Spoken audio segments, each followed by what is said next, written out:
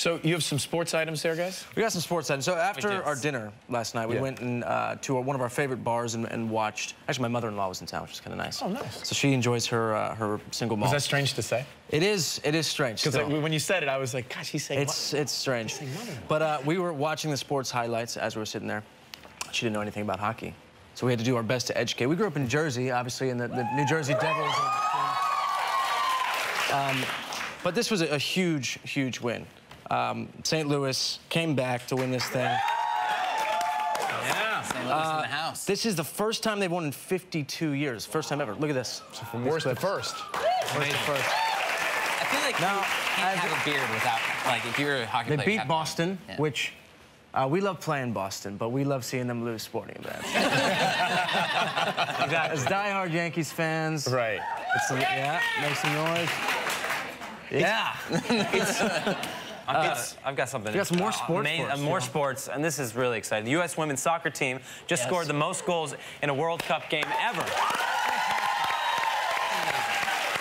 The U.S. women's national soccer team scored the most goals ever in a single World Cup match for men or women, beating Thailand 13-0 Tuesday in its first match of 2019's tournament. And I mean, they are just crushing it. They have another game coming up uh, this Sunday. So But people were mad because they were Yeah, there's celebrating controversy. yeah, Right? I think, I mean, just keep celebrating. That's impressive. Well, celebrating, and weren't there, and again, I'm not the sports expert here.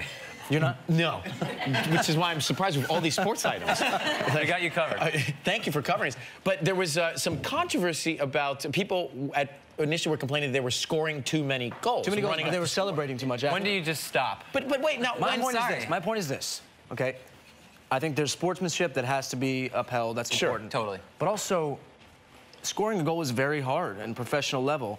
If you want to celebrate, take your two, three seconds, celebrate. Don't go too far. Right. But if it's the 13th goal, maybe cut that down to half a second. Right, but don't this and then you're out. But but but I think like don't don't stop scoring. I mean, every No, never practice, the whole Never goal is to right. You're practicing to score, and so you get out there. That's your job. That's what you're supposed to do. They're too good. So keep they're too good. But but isn't and maybe you will know this in in the tournament if it comes down to a tie, don't they go back and calculate total goals scored or something? There's some math that's involved.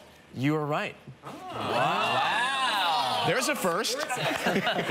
They don't do that in the NBA, and hopefully, I think they wish they could because tonight, obviously, you have the Golden State Warriors Yes. playing again and the Raptors.